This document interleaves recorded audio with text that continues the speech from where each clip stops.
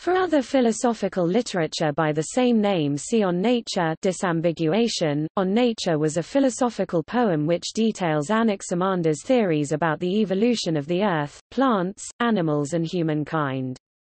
Anaximander described his theory that humans and other animals descended from fish once the world's oceans began to dry up.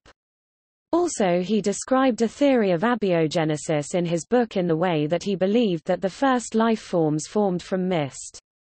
We know little about his book because it has been lost or destroyed, however it still remains important today because it describes one of the world's earliest theories of evolution.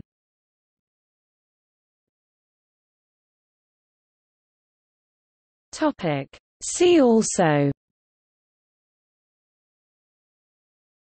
Aristotle's biology. Topic: External links.